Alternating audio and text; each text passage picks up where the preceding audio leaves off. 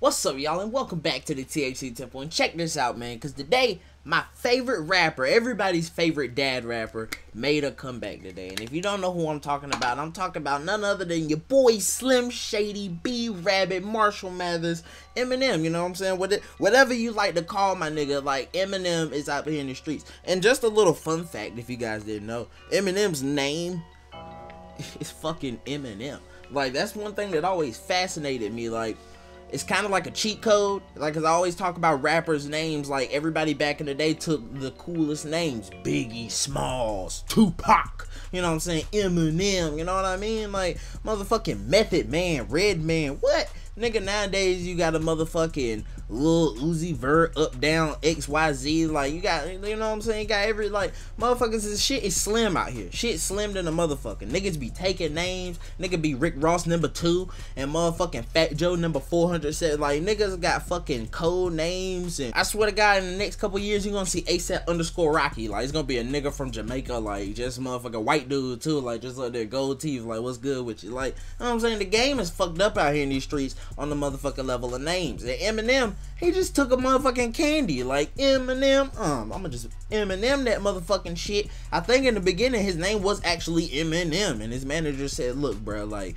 you know what I'm saying. Your privilege only go but so far around here. Like motherfucking, eh, the candy is bigger than you right now, my nigga. Eh, today Eminem might could change his name to Eminem. Like fuck it, like." I ain't seen them little motherfucking peanut niggas on no commercials in a minute. Them niggas might be broken in a motherfucker. They might need that little that Marshall Mathers check. But either way, man, like I said, my boy came out and he dropped another album. Cause if you guys didn't know that, for that last album that he dropped was Dookie, man. I've dropped like Eminem. Like when it comes to dude, I've loved a lot of his albums. I think that Relapse and Recovery, you know, some of the albums that a lot of people think is real wonky, like oh fuck that shit type type shit. I think those are some of his best albums because he's kind of, you know, I like. That's why I called him a dad rapper because these rappers they starting to get old now, like Jay Z, motherfucking all like the rappers from back in the day, some of our best rappers, some of the best rappers of the 2000s, even Kanye, like niggas is getting old now. Like these guys are old. Like Kanye up there talking about poopity scoop, uh, uh, uh Jay Z talk about cake, cake, eat the birthday cake and all type shit. Like motherfuckers is really like at a loss for words at the day, cause like they old man rappers, they old men. Like that's real nigga shit. like I said, like fucking when, even when you listening to like especially when you were listening to revival, oh my god, like it was nothing but dad jokes all over the place He was like, Neener, Neener, let me see your wiener, all type of shit. Like, it was just all types of weird. Like, this nigga is really like at he's at the end of the rope. Like that's when I said, yo, look, it's really time for Eminem to just fucking hang it up. Cause for a long time I was like, look, and once you've entered into that debate for greatest rapper of all time, and I don't mean that new nigga debate, like when you drop one mixtape today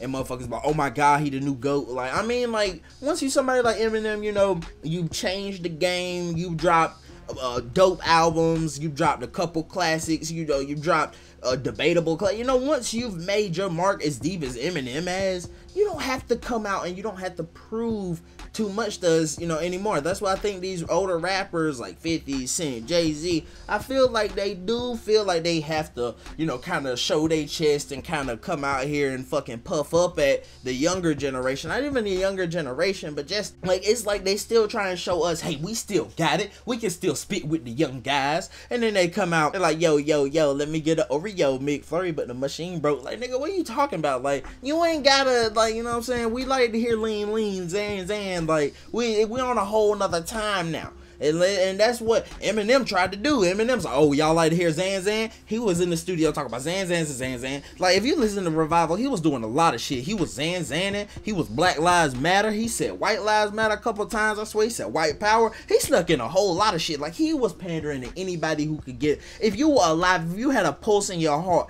that motherfucker was coming for you. He would. I swear he had a couple uh uh uh Jared Fogle lines up there. He said Subway nigga, he won't too bad. I said, oh my god, like he like dude, like, chill out, bro. Like, he was going nuts on that motherfucking album. And everybody was like, cool out, man. Buy the album, support him and shit. I was like, nah, Eminem needs to support himself. He tripping over here. But then, my boy, like, uh, you wake up in the morning and you see dude drop a new album. I'm like, oh shit. Because Eminem, like I said, dropping a new album is obviously a redemption tape. Now, for one, like I said, somebody like me, like seeing him drop a redemption tape, it makes me feel good because I thought my man's was down and out. Like I said, I like re- uh, like recovery and relapse. Everybody they were kind of wonky on it, but they still sold through the roof. I think Not Afraid, one of the best hip hop songs of all time, just because it's so triumphant. Like, I'm not afraid to take a stand, motherfucker. You know what I'm saying? Like, it's a big, is it like hip hop, you know, it's supposed to be like, it's supposed to make you feel like you got big balls, you know, you the man around town. And that's, you know, a strong song to do that. Like, you can try to read my lyrics off of the paper before I'm laying. Like, he was really spitting on this shit. He was spitting like the bank account was on $10 and the motherfuckers were coming for the two towels in the front. Like, he was, he was spitting like it was all about to go. So, you know what I'm saying? That's exactly what you want to hear from people. But then on Marshall Mathers LP2, that's like another thing. Why you making a sequel to an album nobody asked for a sequel to? Like, even somebody who was asking for sequels, this is the type of niggas that ask for sequels to movies that don't need sequels. Like, this the nigga who probably looking for a mother, he probably looking for another Twilight movie. Like, you think we need another one of those? He probably need another Saw. Like, nigga, they done Saw eight times. Motherfucker run away from the Jigsaw nigga. You know he the old man. The old man that died and came back to life like 18 times. How many times y'all trying to see a Saw movie, bruh? Don't y'all know what's gonna happen? It's gonna be another puppet nigga. He gonna be making niggas kill themselves and like that's it. Y'all gonna say, oh whoa, and then you gonna walk out of the theater like, I don't know, bro, it wasn't good as it wasn't as good as Saw 2. And then go like, no, dude, Saw 3D was a classic. And like, you know, we ain't got time for the argument no more. Like, kill Saw, kill all that mess, kill all the redundancy. What was I even talking about? I need to hit this bow. This probably help me remember. It'll jog my memory. It's a memory jogger here.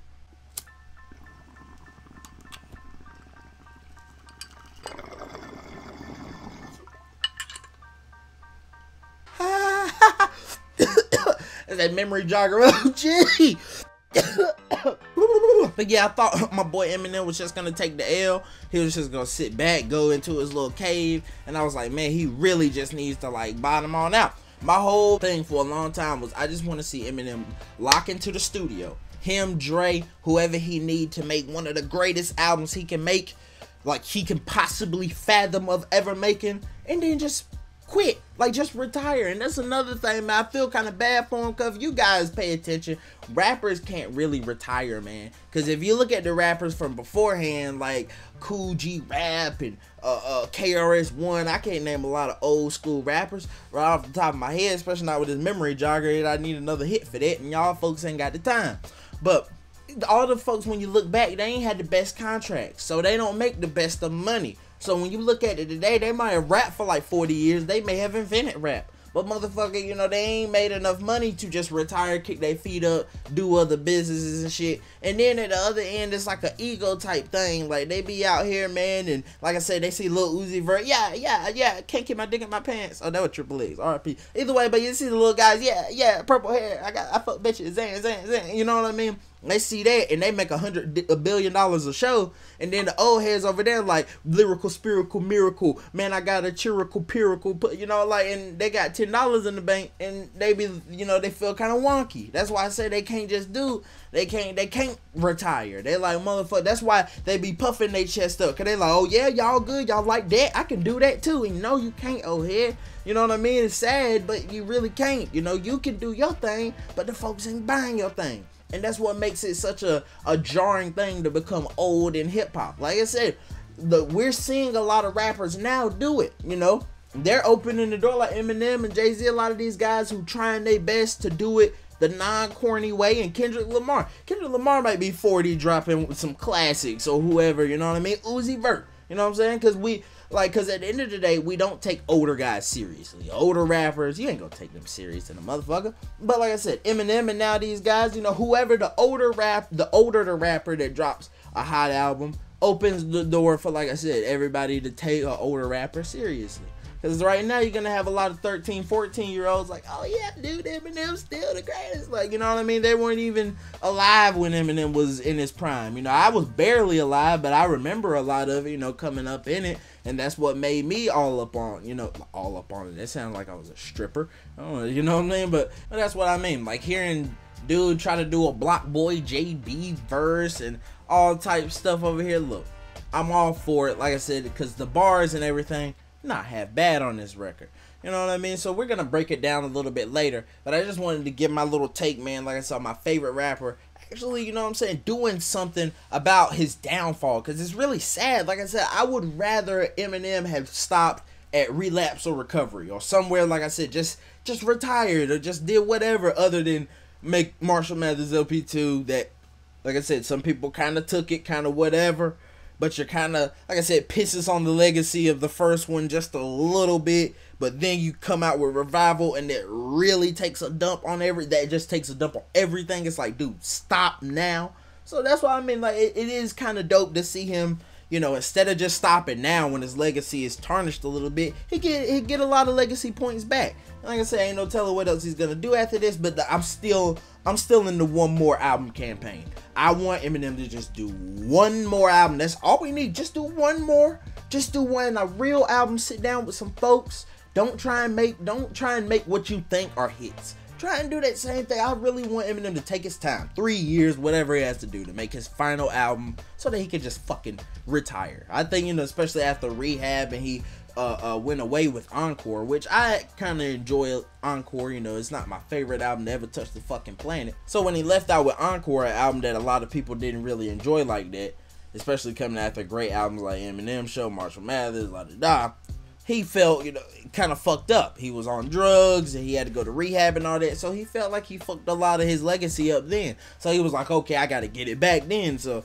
when he dropped Relapse and people were, it's like Eminem didn't really notice that people, no matter what you dropped, especially at that era in time when he came back in like 2008, 2009, people are to find something to pick apart about it anyway. Just like the same way they were doing when he first came out. But there was so many dick riders that he couldn't really see the haters like that now the dick riders kind of leveled out and the haters, uh, you know what I mean? So he couldn't really see, and the internet's there, it's kind of heightening it all. He couldn't really take it, man, and he started, okay, I gotta prove to these guys, this is gonna get him here, and he hasn't really never gotten us. But this one's doing the firestorm. Hope, hopefully, this one here, you know, it gives him what he needs, you know, to let him know that, hey, you know, the people fucking still enjoy you, Eminem, but it's only when you're doing something really organic, you know. Even this one here, this album here ain't totally organic but you can tell he had some fire like fuck dude like niggas is really dogging me. Like niggas is really shitting on me. I gotta do i'm eminem. Like is that that's what because when he was making revival it's like he said okay i gotta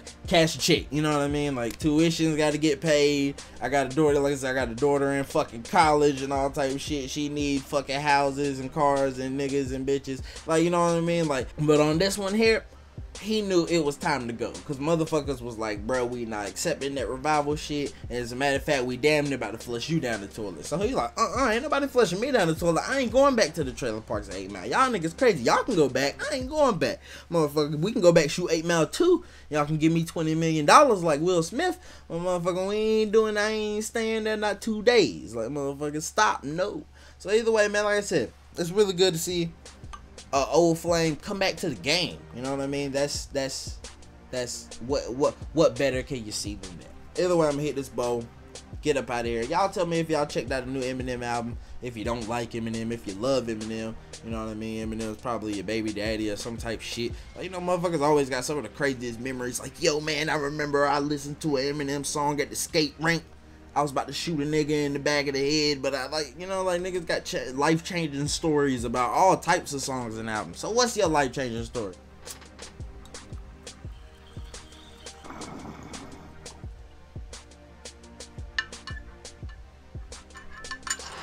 All right, yo.